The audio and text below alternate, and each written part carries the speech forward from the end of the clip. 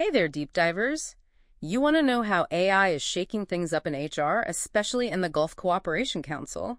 Well, get this. We're diving into a recent SHRM MENA report, and let me tell you, it's a goldmine of insights.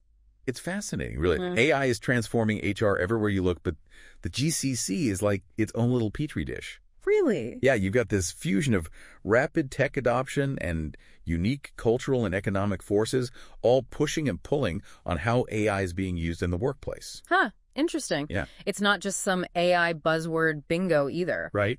This report gets into the weeds of what GCC HR leaders are prioritizing, the challenges they're facing, and how they're using AI to get real, tangible results. And that's what makes this report so valuable. Oh. For you, it's grounded in the real life experiences of companies in the GCC. Okay, so let's unpack this thing. The report starts by shining a light on the top HR priorities in the region hmm. and the number one concern What's that? talent. Talent. Specifically, attracting and holding on to top tier talent in a super competitive job market. Which makes perfect sense when you think about the GCC's economic landscape. Right. It's a battle for the best and brightest. Exactly. But here's where it gets really interesting. Okay. Right up there with talent acquisition is employee well being. Interesting. We're talking about mental health, positive workplace cultures, the whole nine yards. This shows how HR's role is changing on a global scale. Yeah, It's not just about admin work and payroll anymore. right. Companies are waking up to the fact that happy and healthy employees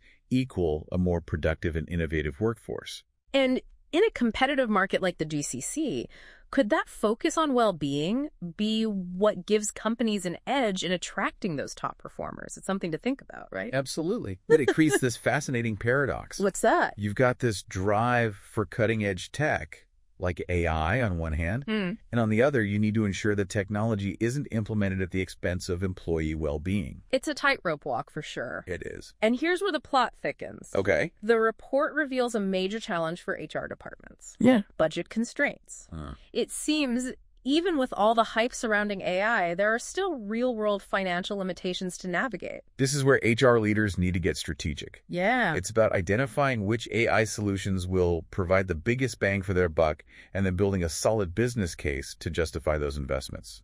So it's not just about adopting the shiniest new AI tool. Right. It's about choosing the tool that addresses specific needs, fits the budget, and ultimately delivers a return on that investment. It's like trying to bake a cake with one hand tied behind your back, right? Sure. You've got all these am- amazing ingredients, AI tools, but limited resources to work with. Exactly. And that brings us to the million dollar question. Okay. How are companies actually using AI in their HR processes, especially with those budget constraints? Well, the report dives into some specific examples, and this is where it gets really interesting for you. It turns out that 45% of HR professionals in the GCC are already reporting big wins using AI in, you guessed it, recruitment and staffing. That's not surprising at all. Really? AI is a rock star when it comes to those high volume tasks like sifting through resumes, identifying promising candidates, even scheduling interviews. It's like having a tireless assistant who can work around the clock without needing a coffee break. Haha, exactly. And it's not just about recruitment. The report also found that 35% of HR pros are seeing major improvements in workforce planning thanks to AI, particularly in sectors like IT and manufacturing. They're using it to anticipate future skills gaps, analyze workforce trends, and stay ahead of the curve. And this gets to the heart of AI's true potential in HR. It's not about replacing human expertise. It's about augmenting it. Oh. AI can process mountains of data and identify patterns that would take humans forever to uncover. Wow. This frees up HR professionals to focus on the strategic, human-centric aspects of their roles, the stuff AI just can't replicate. It's like giving HR superpowers, and the report goes beyond just the numbers. It gives you a sneak peek into the specific AI tools that are getting GCC companies excited. We're talking applicant tracking systems, AI powered learning platforms, even robots for onboarding. Let's not forget AI's potential impact on employee relations. Oh, right. Imagine having data-driven insights to help navigate tricky interpersonal dynamics. There is that quote from an HR manager who wanted AI to help analyze employee relations situations.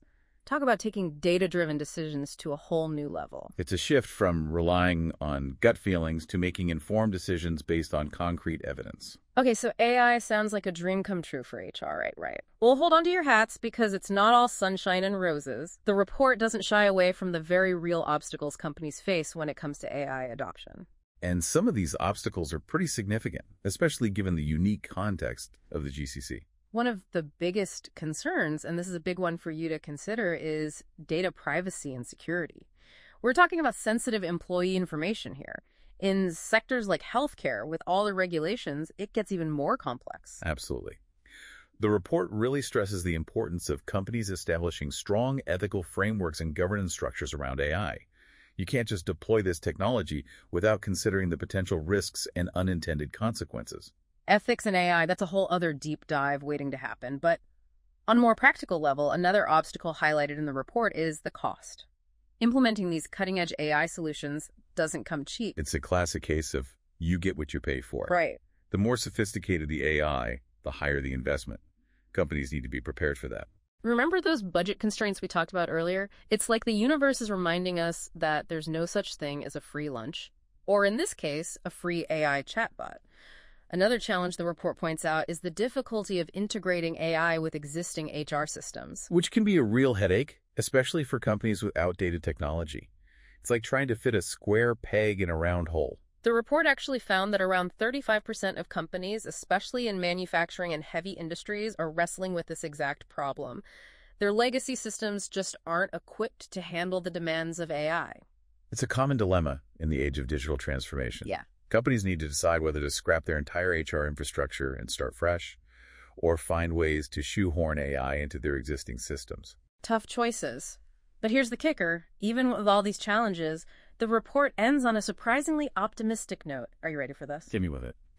They're saying AI won't replace HR. It will empower HR to be even more strategic and impactful. Yeah. Like HR gets to level up. I love that analogy. It's not about humans versus machines. It's about humans and machines working together to create a better future of work.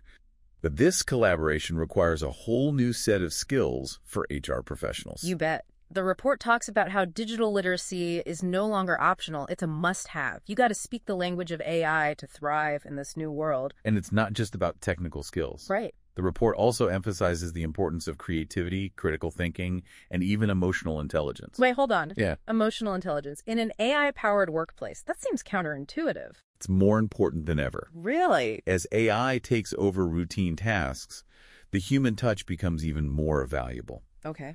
HR professionals will be the ones building relationships, fostering collaboration, and creating workplaces where people feel valued and connected, even in highly automated environments. So it's like AI is the co pilot, providing guidance and support, but HR is still the pilot, steering the ship and making the big decisions. Precisely. And that requires a shift in mindset, a willingness to embrace AI as a powerful tool that can be used for good in the HR field. A tool that can actually help create a more human centered workplace, even in the age of machines. Now, that's something to think about. But I'm curious to hear your thoughts. What's resonating with you so far?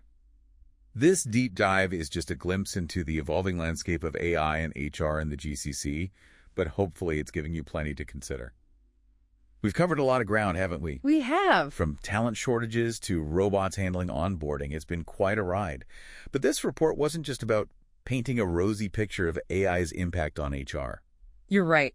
Hmm. One of the most thought provoking takeaways from the report is the concept of technology fatigue. Oh, yeah. Have you ever felt that, listener? Totally. That sense of being bombarded with new apps and platforms faster than you can keep up? Oh, absolutely. It's like the digital world is stuck on fast forward and we're all just trying to keep up. I think it's something a lot of people can relate to, especially in the fast paced world of HR.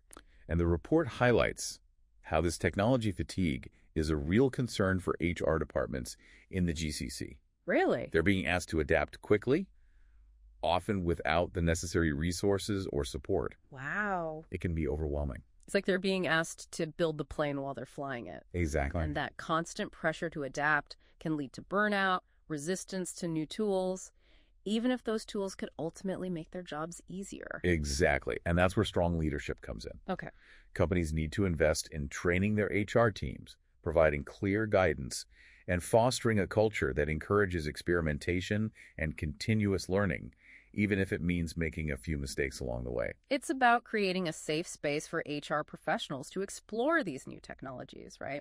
Because at the end of the day, AI isn't a magic solution. Right. It's a powerful tool, but it needs to be used effectively by skilled and supported individuals. Couldn't agree more. Yeah. And that brings us to the heart of what this report is really all about.